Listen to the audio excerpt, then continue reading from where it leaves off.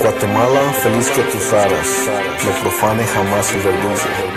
Nega esclavo que lame tu yugo, y tiranos que escupa tu faz.